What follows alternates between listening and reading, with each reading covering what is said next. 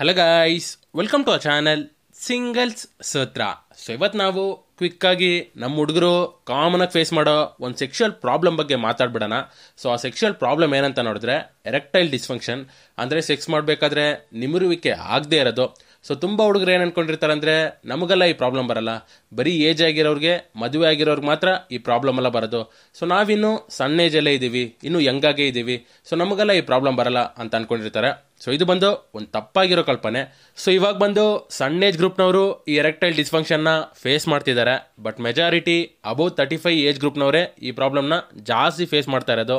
So ಇದಕ್ಕೇನು reason ಅಂತ ನೋಡಿದ್ರೆ, ಅವ್ರು ಬಂದ್ಬಿಟ್ಟು ಒಂದು ಸ್ಟ್ರೆಸ್ಫುಲ್ ಆಗಿರೋ ಟೆನ್ಷನ್ ಆಗಿರೋ, ಯಾವಾಗಲೂ ಡಿಪ್ರೆಷನ್ ಆಗಿರೋ ಒಂದು ಮನೋಭಾವನೆಯಲ್ಲಿ ಇರೋದ್ರಿಂದಾನೆ ಮತ್ತು ಅವರು ಸ್ಮೋಕಿಂಗು ಡ್ರಿಂಕಿಂಗ್ ಅನ್ನೋ ಲೈಫ್ ಸ್ಟೈಲ್ನ ಅಡಾಪ್ಟ್ ಮಾಡ್ಕೊಂಡಿರೋದ್ರಿಂದಾನೆ. ಸೊ ಈ ಎರೆಕ್ಟೈಲ್ ಡಿಸ್ಫಂಕ್ಷನ್ನ ಹೆಂಗೆ ಕ್ಯೂರ್ ಮಾಡೋದು ಅಂತ ಕೇಳಿದ್ರೆ, ಅದಕ್ಕೊಂದು ಪ್ರಾಡಕ್ಟ್ ಇದೆ. ಸೊ ಪ್ರಾಡಕ್ಟ್ ನೇಮ್ ಏನಂತ ನೋಡಿದ್ರೆ ಎಕ್ಸ್ಟ್ರಾಂಗ್ ಅಂತ.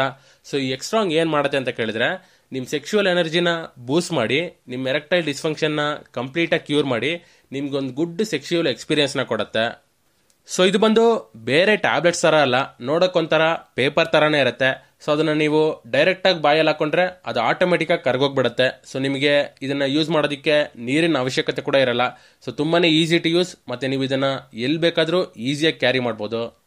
ಬಟ್ ನೀವು ಇದನ್ನ ಯೂಸ್ ಮಾಡಬೇಕು ಅಂತ ಇದ್ದರೆ ಡಾಕ್ಟರ್ನ ಬಂದು ಕನ್ಸಲ್ಟ್ ಮಾಡಲೇಬೇಕು. ಸೊ ಅವಾಗಲೇ ನೀವು ಹೆಲ್ತಿಯಾಗಿದ್ದೀರಾ ಈ ಪ್ರಾಡಕ್ಟ್ನ ಯೂಸ್ ಮಾಡೋದಕ್ಕೆ ಎಲಿಜಿಬಿಲಿಟಿ ಆಗಿದ್ದೀರಾ ಅನ್ನೋದು ನಿಮ್ಗೆ ಗೊತ್ತಾಗತ್ತೆ. ಸೊ ವಿತೌಟ್ ಡಾಕ್ಟರ್ ಕನ್ಸಲ್ಟೇಷನ್ ಯಾವುದೇ ಕಾರಣಕ್ಕೂ ಯೂಸ್ ಹೋಗ್ಬೇಡಿ.